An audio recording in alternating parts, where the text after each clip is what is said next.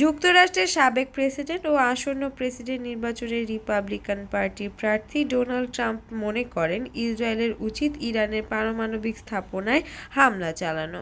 Trump শুক্রবার ইসরায়েলের উদ্দেশ্যে বলেছেন, ইরানের সাম্প্রতিক ক্ষেপণাস্ত্র হামলার জবাবে ইসরায়েলের উচিত আগে ইরানের পরমাণু স্থাপনায় হামলা চালানো। নর্থ ক্যারোলিনার অঙ্গরাজ্যের এক নির্বাচনী প্রচারে ট্রাম্প এই মন্তব্য করেন।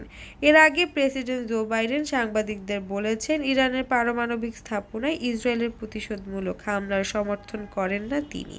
এর বদলে ইহুদি রাষ্ট্রটির বিরুদ্ধে ইসলামিক প্রজাতন্ত্রটির ক্ষেপণাস্ত্র হামলার প্রতিক্রিয়া জানানোর জন্য একটি বিস্তৃত আন্তর্জাতিক ঐক্যমত গড়ে তোলার পক্ষে তিনি। ইরানের পারমাণবিক স্থাপনায় যুক্তরাষ্ট্রের জন্য ঝুঁকিপূর্ণ উল্লেখ করে ট্রাম্প বলেন যখন সাংবাদিকরা তাকে এ প্রশ্ন করেছিল, তখন উত্তরটা হওয়া উচিত ছিল, আগে ইরানের পারমাণবিক স্থাপনায় আঘাত করা হবে, বাকি বিষয় পরে ভাবলেও চলবে।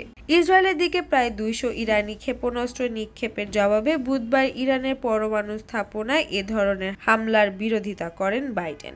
মার্কিন প্রেসিডেন্টের জন্য নির্ধারিত বিমান এয়ারফোর্স ওয়ানে ওঠার আগে বুধবার সাংবাদিকদের বাইডেন বলেন, ইসরায়েলিরা কি করতে যাচ্ছে তা নিয়ে আমরা তাদের সঙ্গে আলোচনা করব তবে তাদের সবাই একমত যে তাদের প্রতিক্রিয়া জানানোর অধিকার আছে, কিন্তু তাদের সমানুপাতিকভাবে প্রতিক্রিয়া জানানো উচিত। তবে ট্রাম্প মধ্যপ্রাচ্যের সাম্প্রতিক উত্তেজনা বৃদ্ধি নিয়ে খুব কমই কথা বলেছিলেন। কিন্তু তিনি এক বিবৃতিতে বর্তমানে মধ্যপ্রাচ্যের এই সংকটের জন্য বাইডেন এবং হ্যারিসনকে দায়ী করছেন।